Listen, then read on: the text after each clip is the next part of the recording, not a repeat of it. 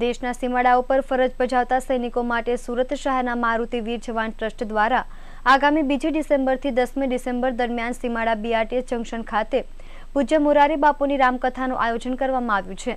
આ રામકથાનો મુખ્ય હેતુ દેશની સરહદ પર શહીદ થનારા વીર સૈનિકોના પરિવારોને આર્થિક રીતે મદદરૂપ થવાનો છે.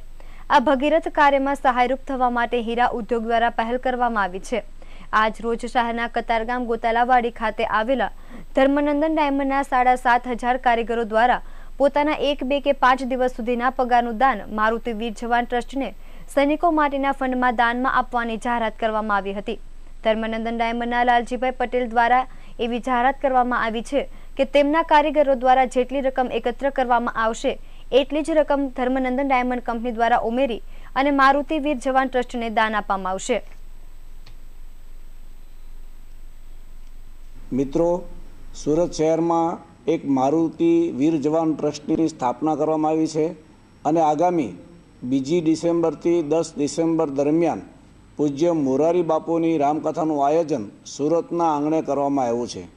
રામકથાનો હેતુ દેશના વીર જવાનોના પરિવારને આર્થિક રીતે મદદ કરવા સાથે તેમના પરિવારને સાંત્વના મળે એ છે.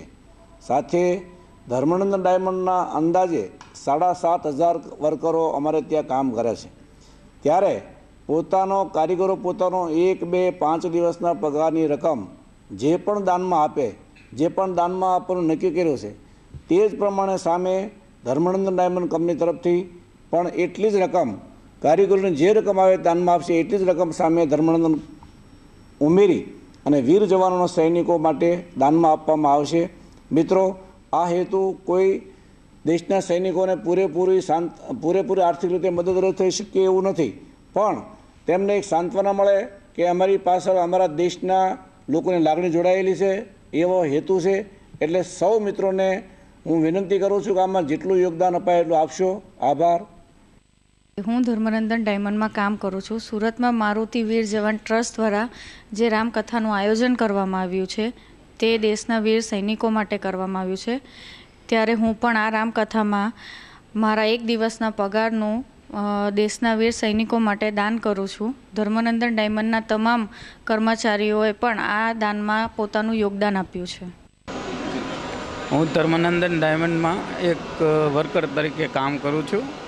અને આ મેં મારા મારા પગારમાંથી ત્રણ દિવસનો જે એવરેજ પગાર આવતો હોય એ પ્રમાણે મેં શહીદ સૈનિકોના પરિવારના લાભાર્થે મેં દાન કરેલ છે.